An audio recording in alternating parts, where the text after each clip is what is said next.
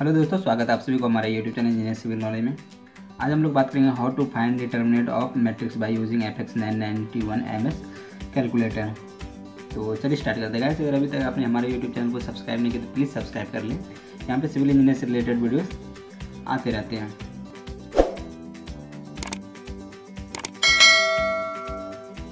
तो हम फाइंड करने के लिए हम एग्ज़ाम्पल में एक मैट्रिक्स लिए हैं, जो कि थ्री बाय थ्री का है। तीन रो एंड तीन कॉलम तो चलिए हम शुरू करते हैं। तो शुरू करने के लिए हम कैलसी को ऑन कर दिए देन मोड जो है उसको हम थ्री टाइम प्रेस करेंगे।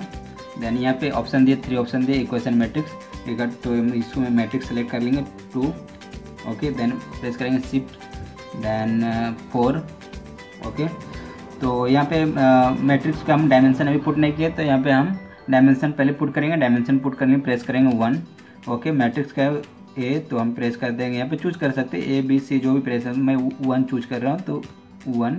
ओके तो ये पूछ रहा है मैट्रिक्स का रो और कॉलम। तो कितना रो है? Three and equal to and column मेरा भी थ्री है। ओके इक्वल तो पूछ रहा है matrix.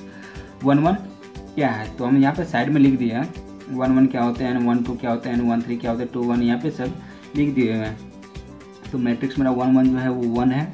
Okay equal to one, two two. Then one three three then two one जो है वो ज़ीरो एंड टू टू जो है वो वन एंड टू थ्री जो है फोर एंड थ्री वन जो है फाइव एंड थ्री टू जो है वो सिक्स एंड थ्री थ्री जो है वो ज़ीरो ओके फिर से ये आ गया मेरा मैट्रिक्स वन वन तो हम इसको ऑल क्लियर कर देंगे A C okay then shift press करेंगे देन फोर प्रेस करेंगे शिफ्ट एंड फोर तो यहाँ से हम ये जो बीस का जो है, इसमें से राइट साइड वाला प्रेस करेंगे।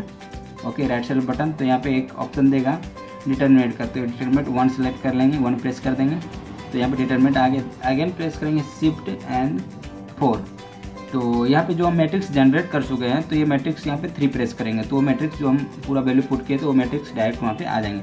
तो यहाँ पे थ्री मैट्रिक्स करेंगे। क्या मैट्रिक्स का नाम दिए थे? वन ए तो हम यहाँ पे वन सेलेक्ट करेंगे ओके तो यहाँ आ गया।